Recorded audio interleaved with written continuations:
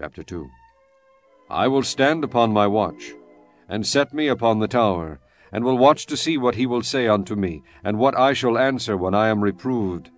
And the Lord answered me and said, Write the vision, and make it plain upon tables, that he may run that readeth it. For the vision is yet for an appointed time, but at the end it shall speak and not lie. Though it tarry, wait for it, because it will surely come, it will not tarry. Behold, his soul which is lifted up is not upright in him, but the just shall live by his faith.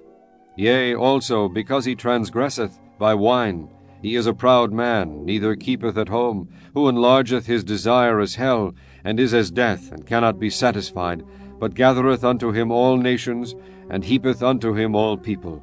Shall not all these take up a parable against him, and a taunting proverb against him, and say, Woe to him that increaseth that which is not his! How long? And to him that ladeth himself with thick clay. Shall they not rise up suddenly that shall bite thee, and awake that shall vex thee, and thou shalt be for booties unto them? Because thou hast spoiled many nations, all the remnant of the people shall spoil thee. Because of men's blood, and for the violence of the land, of the city, and of all that dwell therein. Woe to him that coveteth an evil covetousness to his house, that he may set his nest on high, that he may be delivered from the power of evil.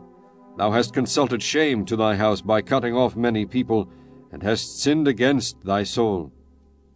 For the stone shall cry out of the wall, and the beam out of the timber shall answer it.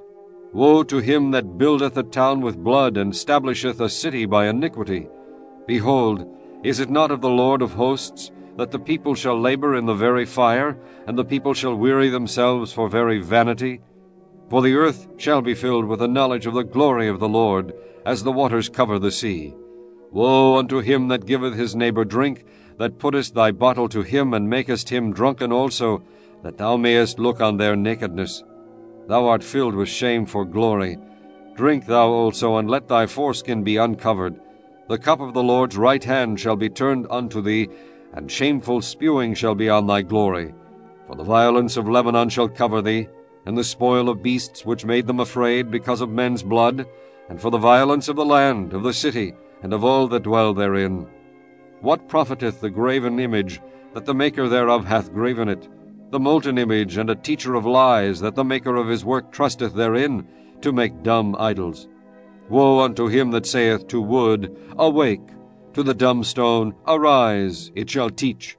Behold, it is laid over with gold and silver, and there is no breath at all in the midst of it. But the Lord is in his holy temple. Let all the earth keep silence before him.